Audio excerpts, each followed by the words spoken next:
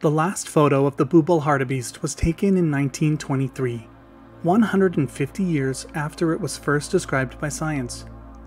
It was one of eight subspecies of hartebeest, distinctive for its sand-colored coat to help it blend into the dry environment of northern Africa.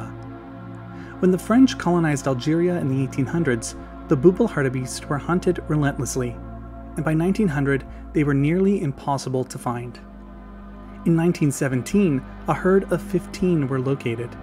The man who found them shot and killed all but three. This is the last picture of a Bubal hartebeest and was taken in 1923. The last known wild specimen was shot and killed in Morocco only two years later, and the Bubal hartebeest was gone.